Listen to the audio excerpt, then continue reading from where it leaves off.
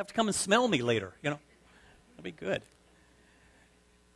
This morning we are finally, I shouldn't say it that way, but we're going to wrap up our time in 1 Peter.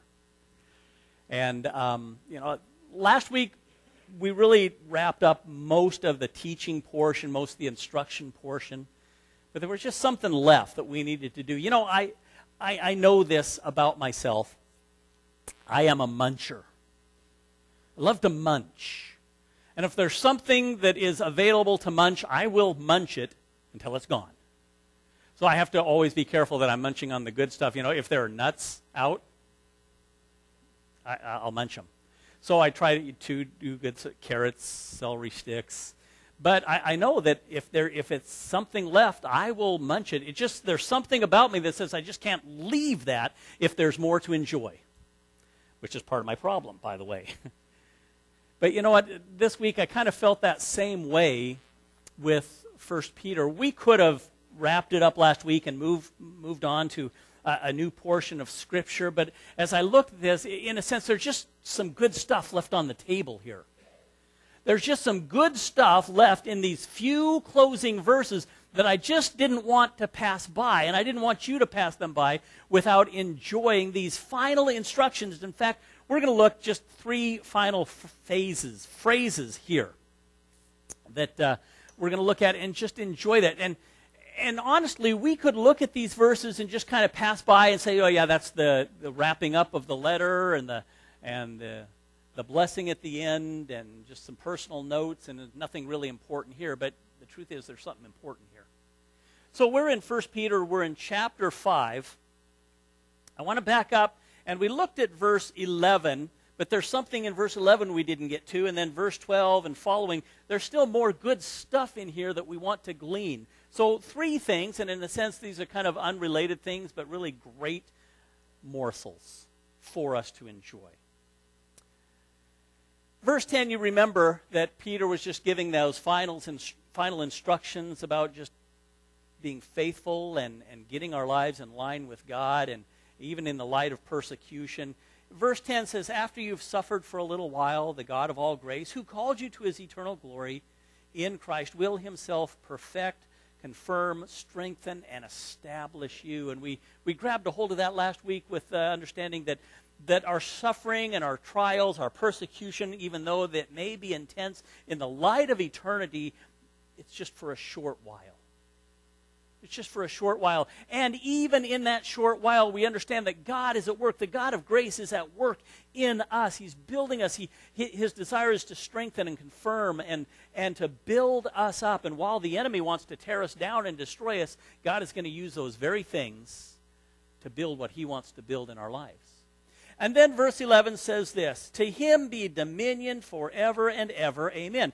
And then Paul, in this wrapping up, says, Through Silvanus, our faithful brother, so I regard him, I have written to you briefly, exhorting and testifying that this is the true grace of God. Stand firm in it. She who is in Babylon, chosen together with you, sends you greetings, and so does my son Mark. Greet one another with a kiss of love. Peace be to you all who are in Christ. Now, three things I want to see, and we're going to take these out of order a little bit. First of all, this, this idea, he says, through Silvanus, our, our faithful servant, a brother and a faithful servant. Now, what is that? Why is that important? We could just kind of gloss over that and say, okay, now here's the wrapping up. He's just uh, sending some personal greetings at this point. But I, there's something here. This, this mention of Silvanus. Who is that? And the first question is that we would actually grapple with is when Peter says, through Silvanus, I have written to you. Now, what does that word through mean? Does that mean he's the messenger or he's the scribe? We know that when Paul wrote, we, have got this indication that possibly there were eye issues with Paul. He couldn't see well, so he would often dictate his letters. So he would have a scribe who would write it down. But we don't have that indication with Peter. So I, I don't think that Silvanus is simply this secretary who's writing this out for Peter. He's not dictating the letter to Peter. I think this is more of a case that this letter was written and delivered by this individual. It was written and delivered by this individual, and I think there was a reason for that. I think he sent Silvanus with a purpose, and it was delivered to him for a reason. So if we would understand that, we have to back up and say, well, what was the reason? First of all, who is this guy? Who is this Silvanus? We, you might recognize him by his other name. In the book of Acts, he's called something different. I don't know which one is the nickname. If Silas is the nickname or Silvanus is the nickname. Or maybe they're just variations of the same name. But in Acts, he's called Silas. He's called Silas. And we know a little bit about Silas just from the book of Acts. So let me give you some references and give you just some of his background and his story. We're introduced to, excuse me, we're introduced to him in Acts chapter 15. And in Acts chapter 15, here's the story. Paul has been preaching and presenting the gospel of Jesus Christ to the Gentiles. But that those early believers and the apostles in Jerusalem, we understand they were Jewish believers, and there arose some concern is Paul preaching the same message that we're preaching? And so Paul comes and presents himself in Jerusalem. It's the Council of Jerusalem. And lays out this is the gospel. This is what I am preaching. And those apostles, those early church fathers said, Yeah, that's what we're preaching too. Keep going, Paul in that, as Paul presents that and he goes back to minister, they send a small contingent with him. Among the men that they send back with Paul to minister to the Gentiles is this man named Silas. Silas is a Jewish believer who was in Jerusalem, counted as a faithful man by the apostles. He's not an apostle, but he's counted as a faithful man, and he's sent back to minister to Paul. I don't know if he's sent just to kind of keep an eye on that or just to give an account of, uh, a firsthand account of what's going on and how this ministry is thriving and, and how lives are being changed because of the gospel. But Silas goes back with Paul. We're also told at that same time that, that Silas has this gift of prophecy that he himself is a prophet. And that's not necessarily meaning that he predicts the future, not that aspect of prophecy, but he's one who can just describe, he understands, and has an insight as to what God is doing. That really is the, the biggest part of the gift of prophecy, just to be able to speak forth and to speak it out to, to the general population, to the public, to the people. This is what God is doing. This is what God is about. This is what He's doing in our culture. This is what He's doing in this situation. And Silas has this gift of prophecy. We're told at the end of chapter 15 that when the rest of the delegation returns to Jerusalem, Silas stays. It, we could read into that that he signs on with Paul. He joins Paul's ministry team and becomes one of the, the key players in Paul's ministry. He stays with Paul at Antioch.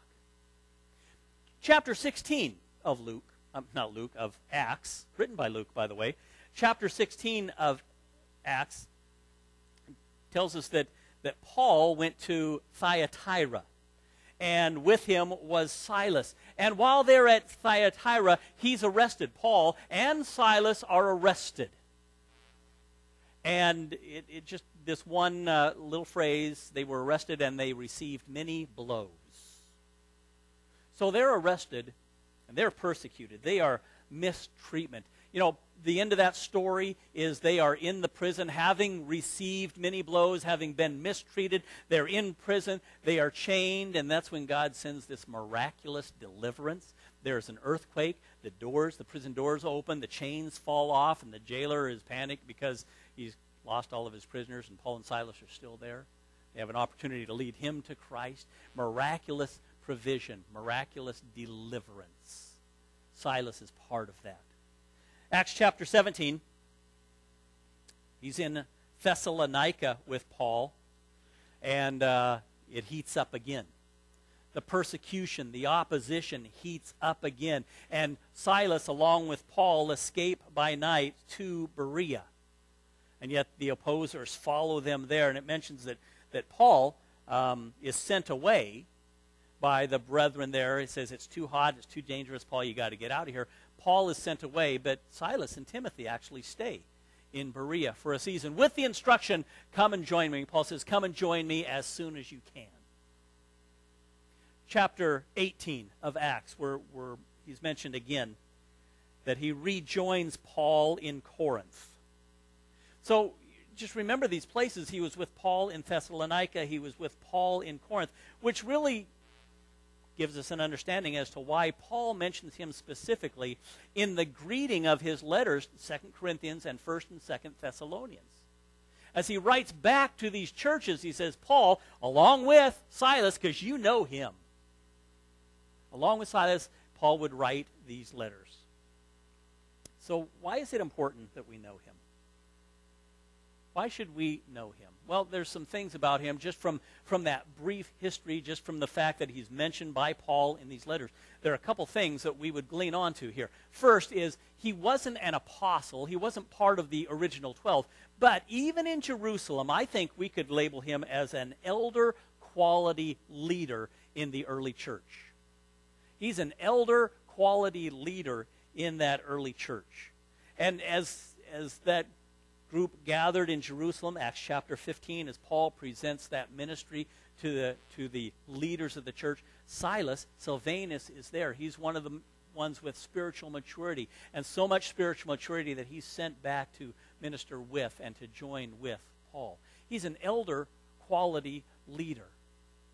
But you think about this now that Silas, Silvanus, has a long ministry history, not just with Peter, but with Paul. Here are two of the founding pillars of the Christian church, of spreading the gospel. This man has ministry history with both of them. You just kind of put that in modern day terms of being able to rub shoulders with two leading evangelical pastors or preachers. Silvanus was there. He was in Jerusalem with Peter and James and the rest of them, learning from them, fellowshipping with them, having a depth and a richness in spiritual maturity. And then he goes and joins Paul's ministry, and he's learning from Paul and, and being enriched by that. And now, obviously, here at the end, he's back with Peter. So he's got this ministry history with both of these guys. But here's the thing that I think is important he knew what it was to be mistreated. He knew what it was to be mistreated for the cause of Christ. He was with Paul. He was arrested and accused. He was beaten. He was in fear of his life. There were times they had to run in fear and escape by night. He knew what it was to be mistreated. And so you think about who he is and the fact that Peter now sends this letter. He's just written a letter about the reality of persecution and hardship to the church. And he says, Now I'm going to send this. I'm sending this with Silas in a sense, we, we can almost read into this to say, I, I, have written to you about, told you the facts, it's on paper, but Silas is going to fill in. Silas is going to tell you what it's like to live that. And you can be encouraged by this one who has lived it. So, uh, again, why should we know that? Well, often with these, and I, I love to look at the people who are named at the end of letters, and so and so sends greeting, and Mark sends a greeting, and Silas sends a greeting. And while they may not be well known, they had impactful ministry. And we, we would say it this way and just understand that, that faithful ministry isn't always noticed, or does it have to be noticed? You can be faithful in ministering and have an incredible impact for the gospel, an incredible impact for the sake of the kingdom of God, and very few people would ever notice that. You may not have the notoriety. You may not be the name that people know and see, the face that is out in front, but you can have impactful ministry, and certainly God takes notice of that. It's recorded for us here. We have to do a little digging to find out what was true of Silas, and that's just a basic sketch outline of his life. But God knows that.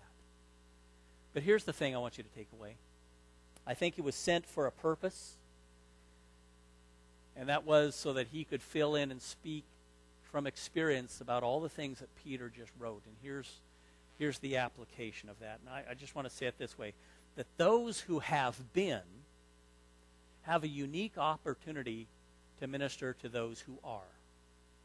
Say it that way. Those who have been have a unique opportunity to minister to those who are. So, those who have been persecuted have a unique opportunity to minister to those who are going through persecution. Well, we could plug other things into that, couldn't we? Those who have dealt with devastating sickness have a unique opportunity to minister, minister to those who are dealing with devastating sickness.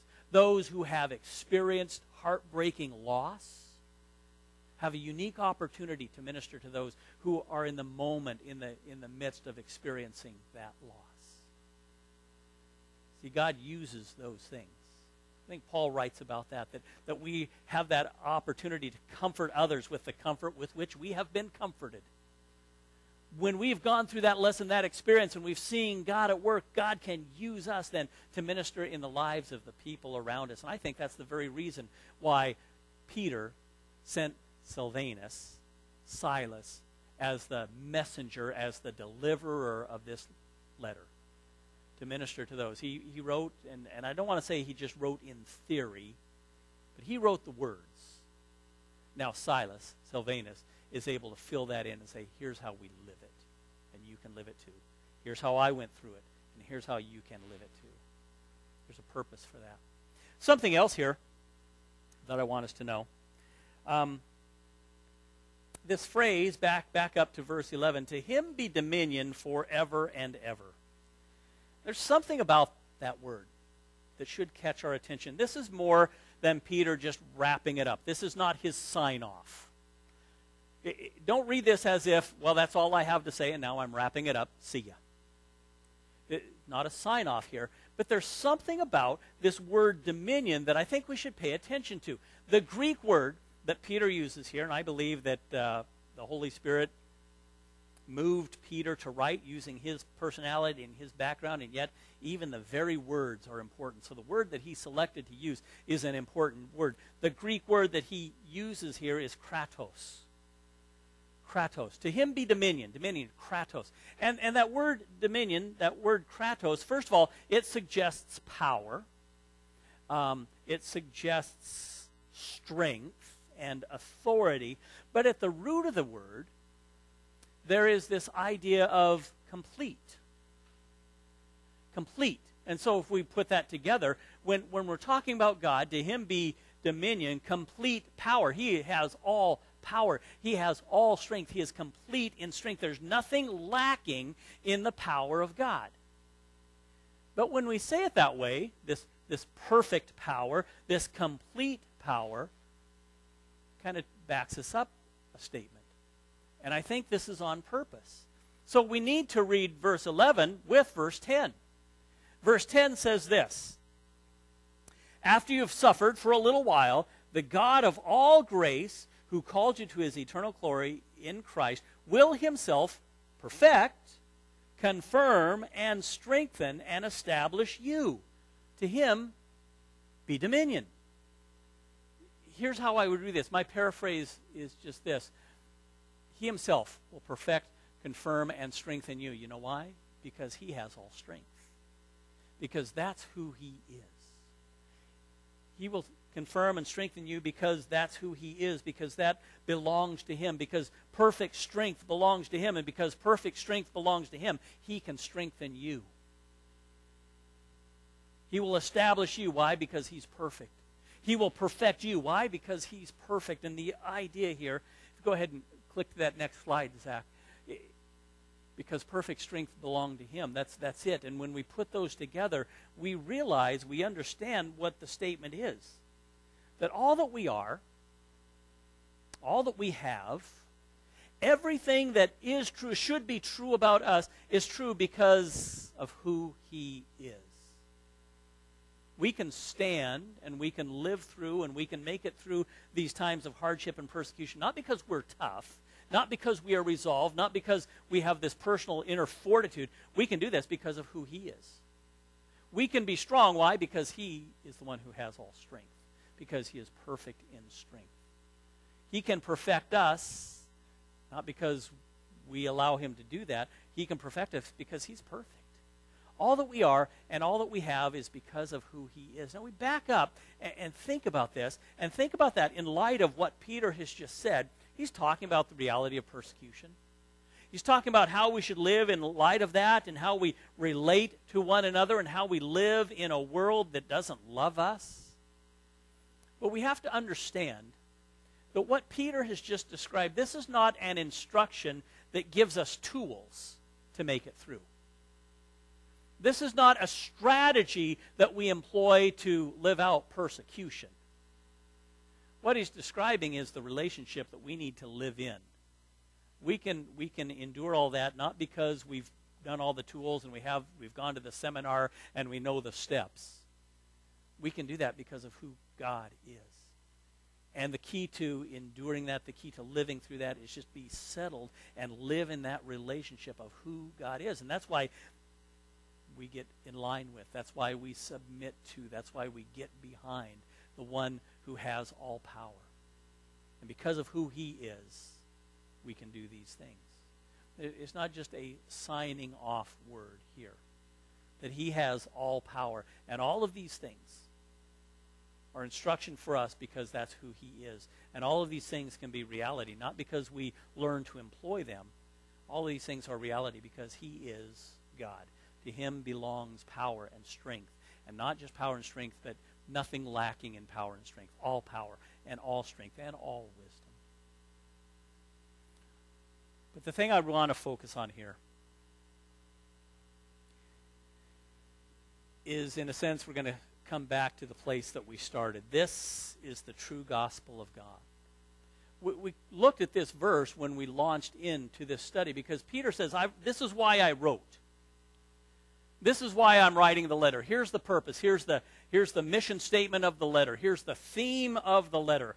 He says in verse 12, through Silvanus, our faithful brother, so I regard him, I have written to you briefly, exhorting and testifying that this is the true grace of God. Stand firm in it.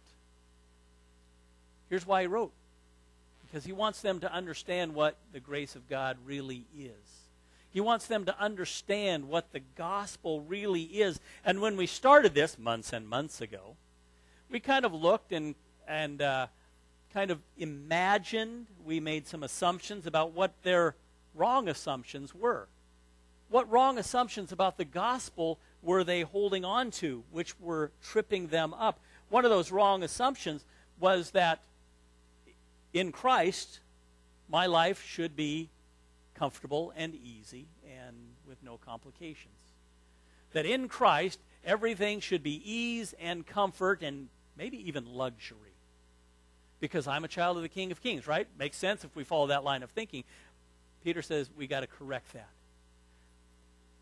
The reality is, have to correct those wrong assumptions because the reality is, and here's the big idea.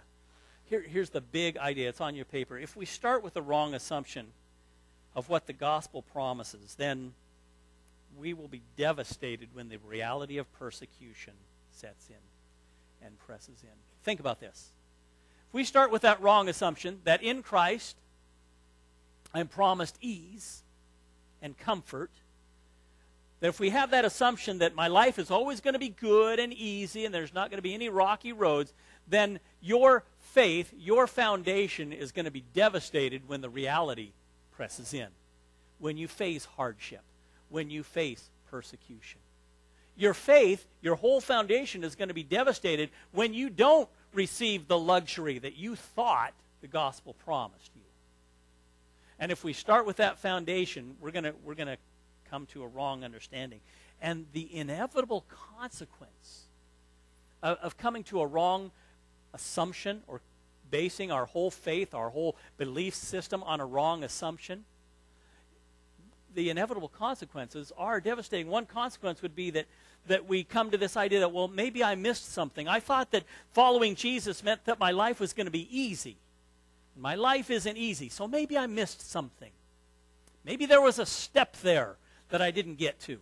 Maybe there was something that, that I should do. Maybe I should do, there's, there's more of the requirement. Maybe I should do more. Maybe I should try harder. Maybe I should be better. And, and if I just did more or tried harder, or if I was just better, then maybe I would experience that easiness that I thought the gospel promised me. You know what that is? That's works. If I just worked harder, if I just supplemented what Jesus did for me, then maybe I could experience ease and comfort. It's a, it's a wrong conclusion based on a wrong foundational assumption. But even worse, maybe we come to the conclusion that maybe I'm not really saved. If following Jesus means my life is easy and comfortable, and certainly my life is not easy and comfortable, maybe I'm not saved. Maybe I don't belong to Him. Maybe the salvation didn't apply to me. Again, maybe I didn't say the words correctly, or I wasn't sincere enough. Maybe I just didn't make it. Maybe God didn't accept me. Maybe I read that promise wrong that whosoever. Well, maybe that doesn't include me. Maybe I'm not saved. And even more devastating than that is this ultimate, inevitable conclusion. Maybe I believed in something that was a false hope. Maybe there really is nothing to this promise of Jesus. Maybe it was just a bunch of words, and I'm no better off than my unsaved heathen neighbor. In fact, maybe he's a little better off than I am because he seems to be enjoying the moment, and I'm trying to be religious. Maybe it's all emptiness. See, if we start with a wrong foundational assumption, your life is going to be devastated, and your, your faith system is going to be devastated when the hardship presses in. And that's why Peter says, This is the true gospel. This is what I want you to understand. This is the truth about the grace of God, and this is the truth about the gospel, about what we have in Jesus, what is promised in Jesus. So I want you to know this. I want to go back. Just look at the promise of grace. Because the promise of grace is the gospel. What is the gospel? What are you promised in Christ? Certainly, you're not promised that life is going to be easy. You're certainly not promised that you're going to be prosperous and wealthy and enjoy all luxury. So, what are you promised? Well, we go back and look at what was accomplished for us at the cross. When the eternal self existing God took on human flesh for us for the purpose of going to the cross, what was accomplished? What did grace do there? The goodness the undeserved favor, the unearned gift of God. What did it do? Well, the unearned gift of God, the grace of God, secured forgiveness for your sin. Secured the forgiveness of your sin. Because, you know, sin comes with a price, and there is a penalty. And the penalty of sin is death. Your rebellion against God puts you under a condemnation of death. There was a death sentence. And that death sentence couldn't be commuted. It couldn't be, it couldn't be satisfied any other way that there had to be death.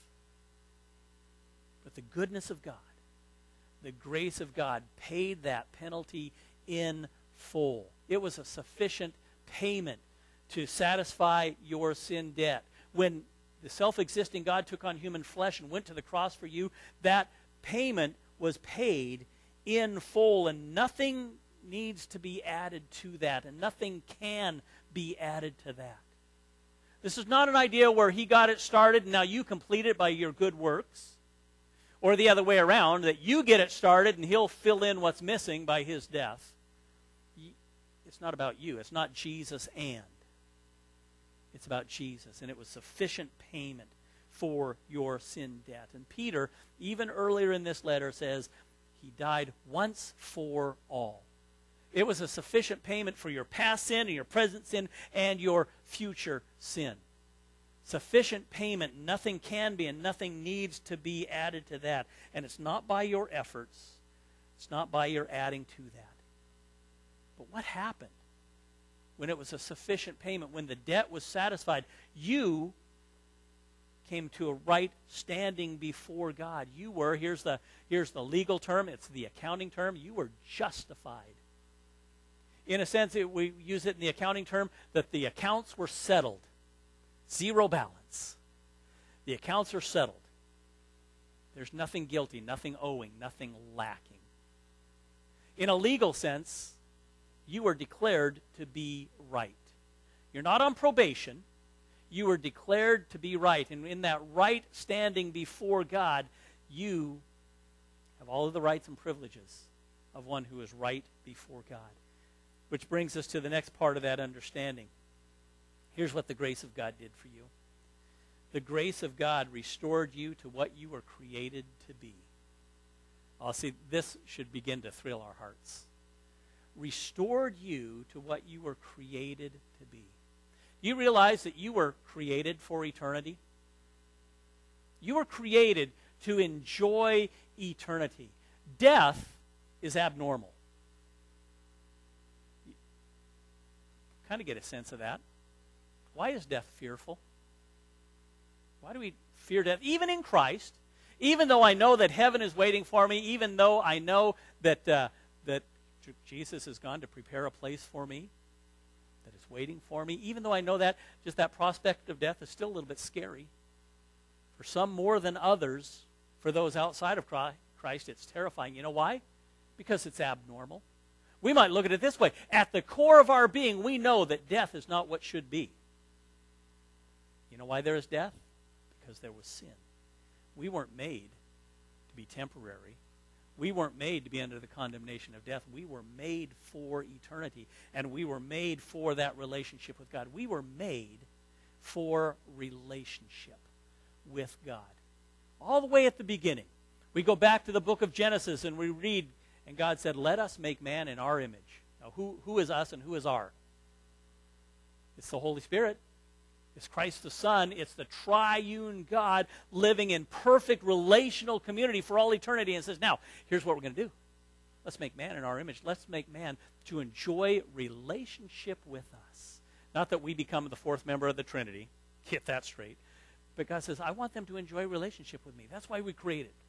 That's why we are created to enjoy relationship with God. But we understand sin spoiled that. When sin entered creation, that relationship was spoiled.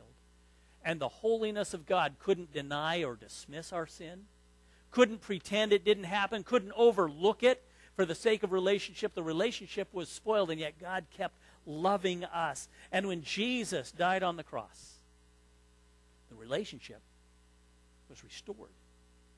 Here's the wonder that we should just continually thrill to. That when Jesus died on the cross, it was sufficient payment for our debt, but it wasn't just the fact that the, the debt was erased and now we're off on our own.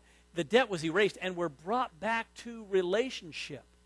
We think of it in those relational terms that our sin made us enemies of God, but when Jesus died, the grace of God was applied no longer are we enemies, but he brings us near and he calls us his own. He calls us his children. It restored us to relationship. Now, why is that important?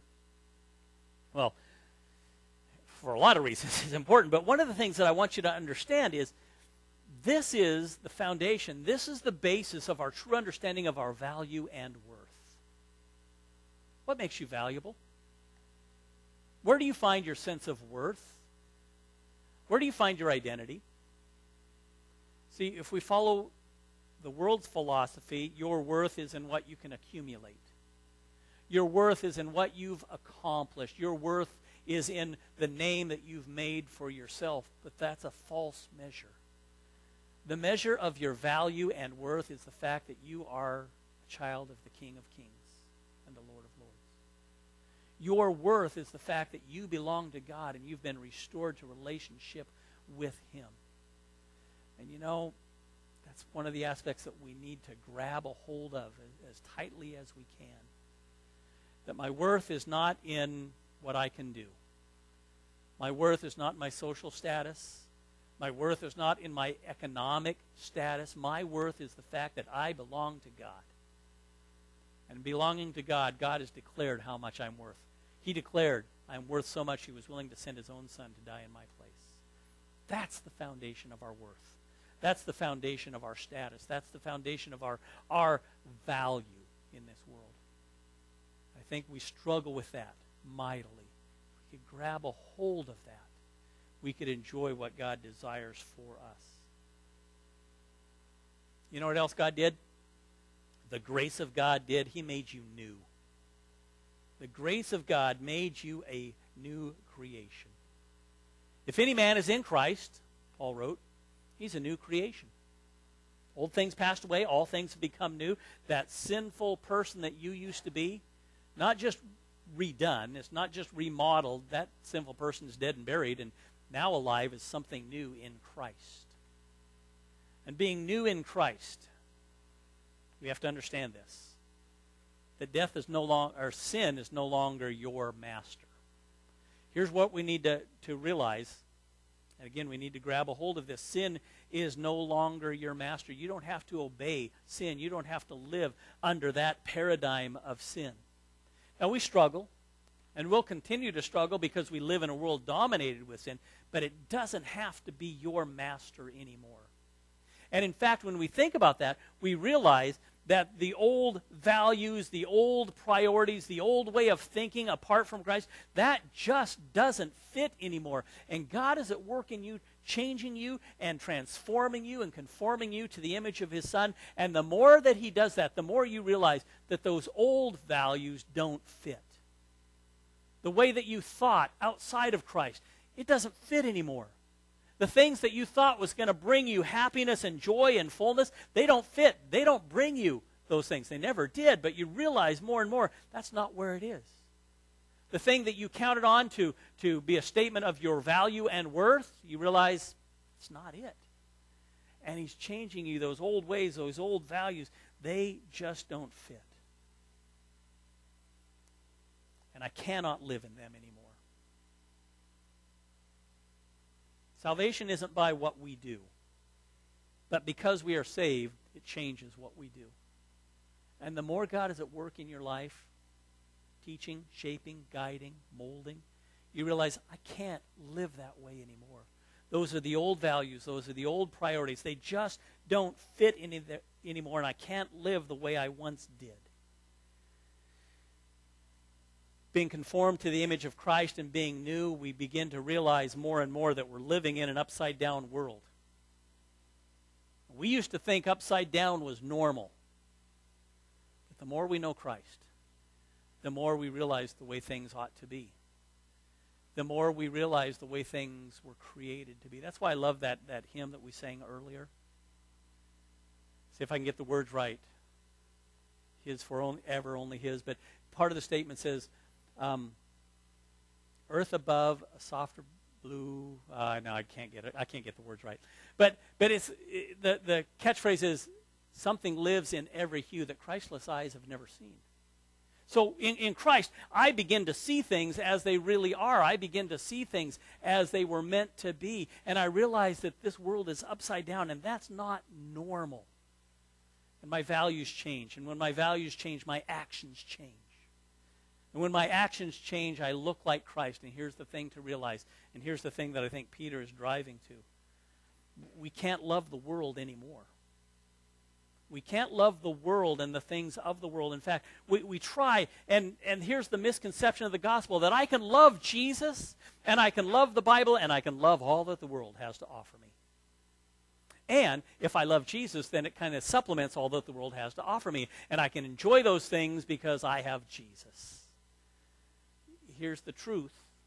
You can't love the world and the things the world offers. You can't love the values of the world and pursue those thing, same things. You have to live differently. And as you live differently, the world's going to take notice. And as the world takes notice, they're going to hate you. You will be hated by the world. Paul said it just pretty clearly when he wrote to Timothy. Though all who desire to live godly in Christ Jesus will be persecuted. The world's going to hate you. You can't be a friend of the world, and you can't be a friend of God.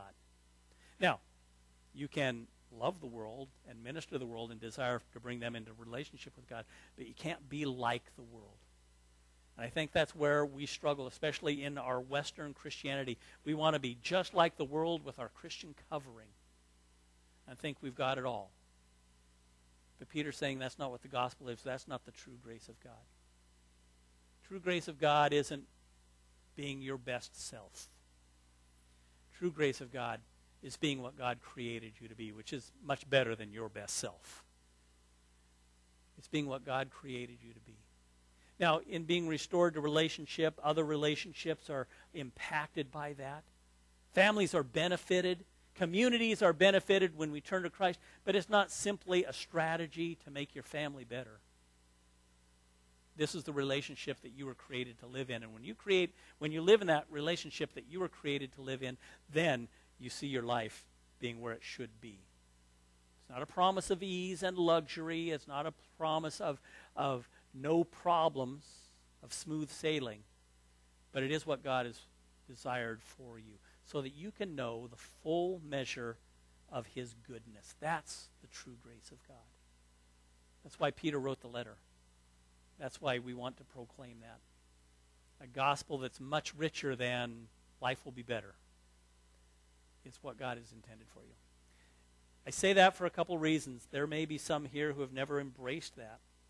Still living under that old paradigm, still trying to figure out what brings fullness and meaning to life.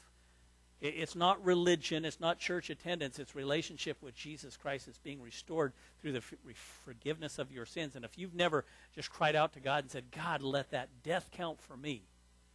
Let me know your full measure, the full measure of your goodness and your grace. Embrace me as your child. If you've never done that, then this would be a good day to do it. That's the gospel. It's not a promise of easiness, but it is a promise of eternity. Maybe you've done that and you are a follower of Jesus Christ, but you're trying to do both. You're trying to be a follower of Jesus and enjoy all that the world has to offer. To realize that's not what the gospel is and that's not what the grace of God is. And at that point, just to say, God, you direct my life. You shape me. You change me. You conform me to your image. And where I need to put off, by your grace, let me put it off. And where I need to put on, by your grace, let me put it on. So that every day I reflect who you are I look more and more like Jesus and less and less like the world. And when you do that, you understand the grace and the goodness and the blessing that are far greater than temporary circumstances. Believer, if that's where you are, then maybe just spend some time before God saying, I confess that. And I want you to shape my life as you would shape my life. Father, today, we thank you for your goodness. We thank you for the truth that before your throne we have a great high priest who intercedes for us. We, we thank you that before your throne there is one who has nail scars in his hand because of us, marks of your love for us. We thank you that before your throne we are counted perfect because the one who is perfect died in our place. Father, we want our lives to reflect that always. So, by your grace, by your strength, let us put off things that, that don't look like Jesus. Let us put off the things that, the, the areas where we clamor to look like the world, so that we might follow you and enjoy the full measure of your goodness.